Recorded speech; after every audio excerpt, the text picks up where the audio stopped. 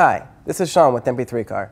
I want to take a look at a really cool monitor, 7 inches, by MIMO that uses uh, DisplayLink technology to do USB video and power just from the same cable.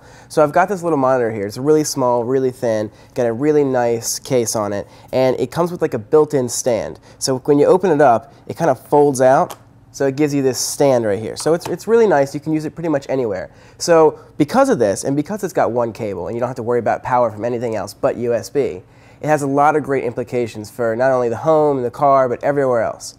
So some of the things that you can do with it that are actually really neat is uh, one, you can have it as like a separate toolbox. What I mean by that is I have Photoshop running up here. And normally, if you have Photoshop, you have lots of things going on. You got your info panel, you got your layers palette, your colors palette, all your all that. Well, what I can do with this extra touch monitor is just plug it in, and Windows or Mac they'll recognize your uh, separate monitor with a couple drivers. And now I've got my layers palette and I got my brushes palette on a separate monitor that I can just touch and use. So because it's USB, you can actually plug in a bunch of these. So I know my MacBook doesn't have it, but if you have a PC that has four USB ports, you could have four separate touch monitors that all have your tools palette. Now that also goes for something like games. So uh, one thing that we were talking about was Flight Simulator. So you could have all your gauges. You can almost make your own virtual cockpit if you bought enough of these with all your USB ports. So it's great for that. Also, uh, since it works with any laptop or any computer, you could get one of these little tiny computers and put it somewhere throughout your house and then just have these monitors so you could have these little touch computers throughout your house if you need to.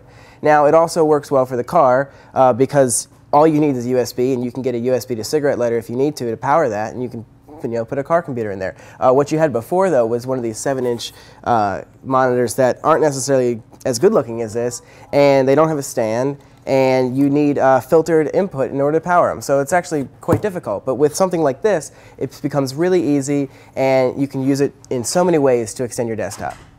Thanks for watching.